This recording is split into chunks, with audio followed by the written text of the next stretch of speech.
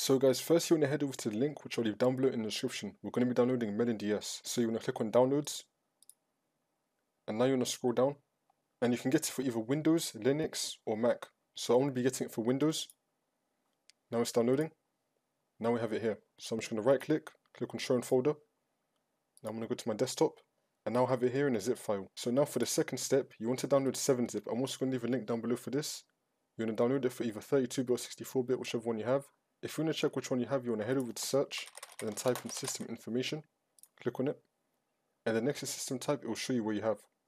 So for me, I'm on 64-bit, so I'm going to begin a 64-bit one. Now I'm going to install it.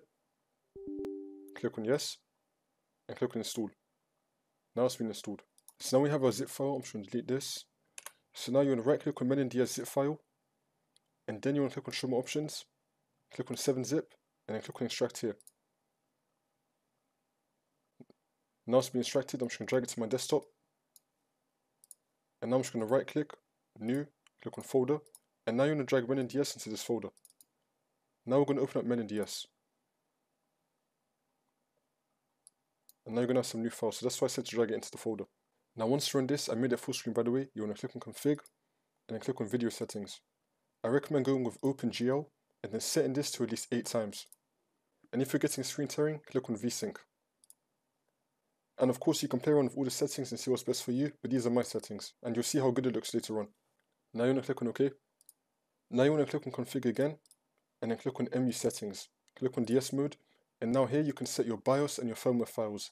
Now for me personally, I did not even have to do this. So I think it just depends on what game that you're trying to play, but for the games that I play, I did not have to do this, and I can't show you how to do this anyway, you have to find it on your own. Now we're going to set up a controller if you have one. So click on config, and then click on input and hotkeys.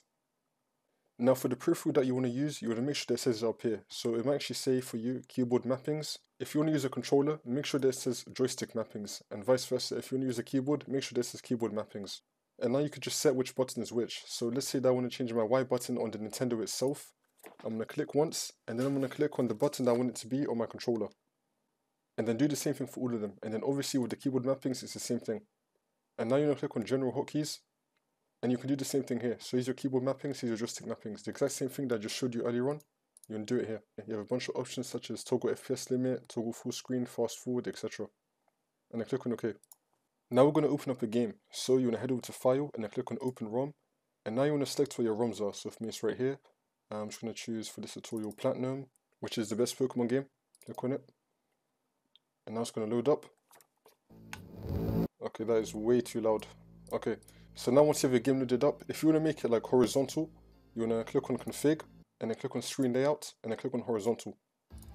And then that's how you do it. Leave a like, subscribe, out.